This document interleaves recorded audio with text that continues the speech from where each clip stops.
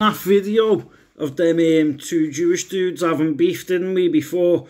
Now, with this is um, the film that, that I said, um, that fella reminded me of Adam Sandler in this one, and also where um, it reminded me Mossab's Adam Sandler's mate in it.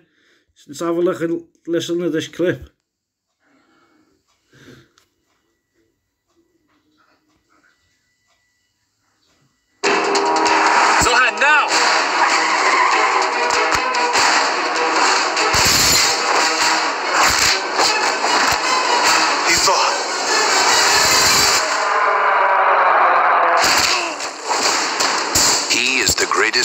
Israeli soldier the world has ever known. But it was time for a change. I wanted to leave the army. What will you do? I want to cut and style hair.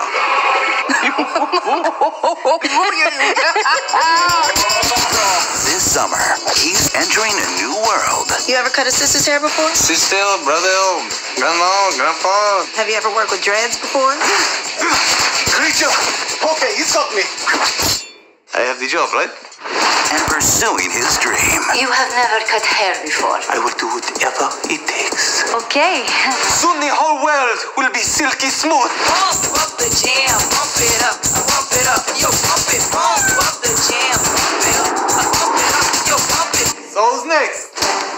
Now, his old life.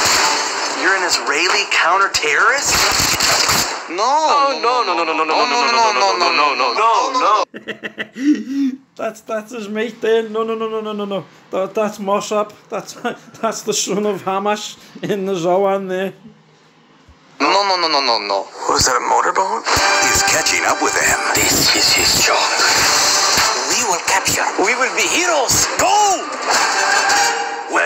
Well, it was very cool. You think I have nice curls that go well with a full face? Idiot! On June 6th. Stay out of my business, Mustafa. This is ah! not my name. Was that your feet? Adam Sandler. Smell it, smell it, now take it. That's for you. You don't mess with a Zohan. Have you ever worked with kids before? At least it's a good time to shave his neck. I would get him quick. That was it, people. But if you haven't seen You Don't Mess With the Zohan, you should watch it. It's quite funny. Anyway, people, I was just showing you that little clip. Peace out.